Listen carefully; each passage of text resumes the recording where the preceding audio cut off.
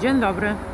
Patrzymy aktualnie na stary budynek y, manufaktury piotrkowskiej, który znajduje się we wschodniej części miasta przy ulicy y, Sulejowskiej 47A.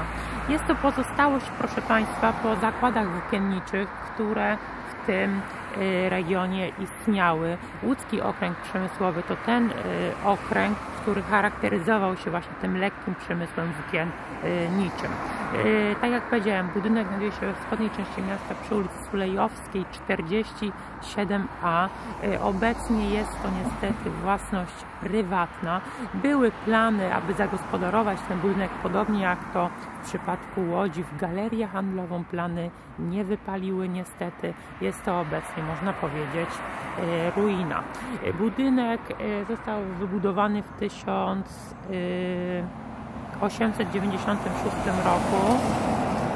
Y, w czasie wojny służył wojsku niemieckiemu do produkcji chociażby sprzętów, elementów do y, samolotów. Sam budynek nie jest wysoki, wyższa jest jedynie jego wieża, która ma wysokość ponad 30 metrów.